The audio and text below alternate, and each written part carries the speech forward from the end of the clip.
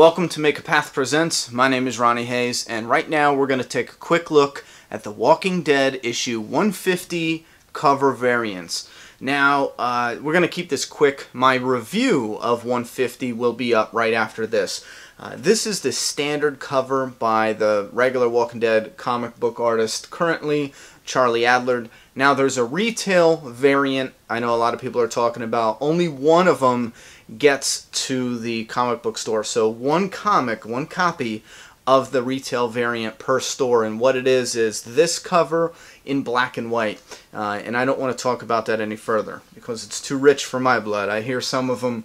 Uh, a couple people got lucky getting them for around 145 150 and other people are finding $400 price tags on the retail variant so it's a matter of luck or connections right now. I hope you guys have uh, better luck or connections than I got. Let's get right into this.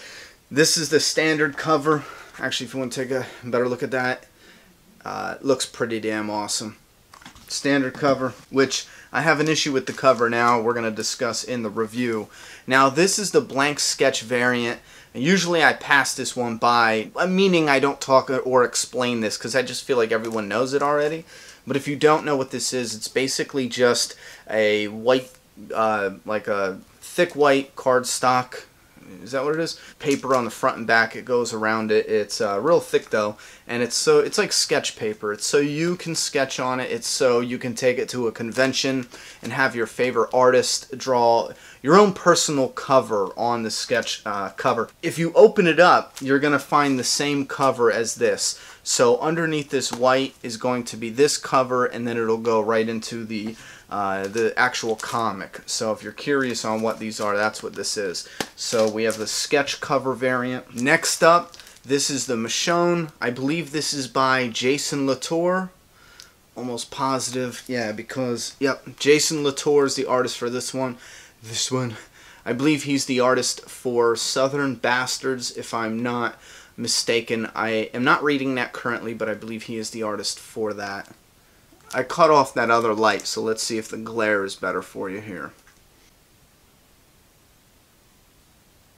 I like this cover.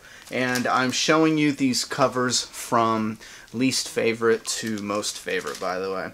And next is Ryan Ottley. Now, when I'm looking at this, I can see uh, the Invincible style because he does uh, another comic with Robert Kirkman called Invincible. It's a superhero comic. I'm recently getting into that one, and I could kind of see uh, like that art style on this cover. But this is also, nope. This is a really cool cover. Check that out.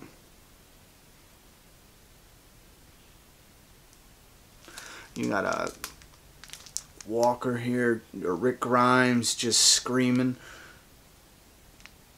shooting at the Walker. I think that is awesome. So the Ryan Ottley variant, or Oatley, I don't know, I might have pronounced that wrong.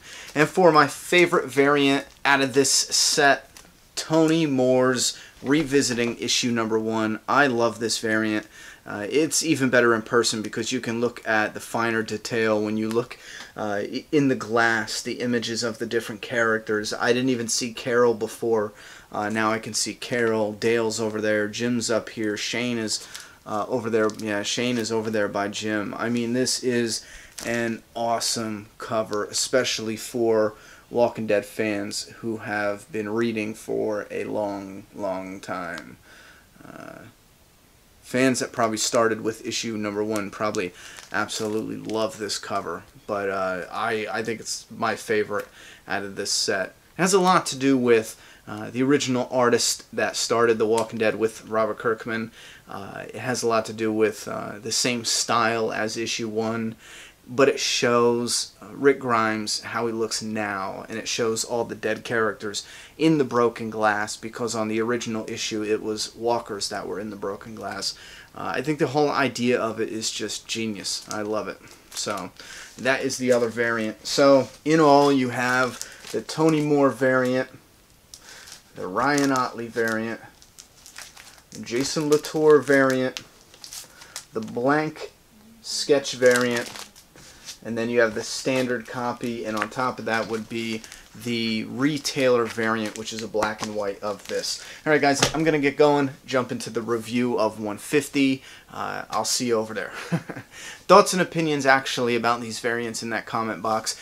Please pick out your favorite variant if you went and grabbed uh, all of them or maybe just one of them. Let me know what was your favorite variant out of this bunch. I'm done talking. It's your turn. Subscribe now.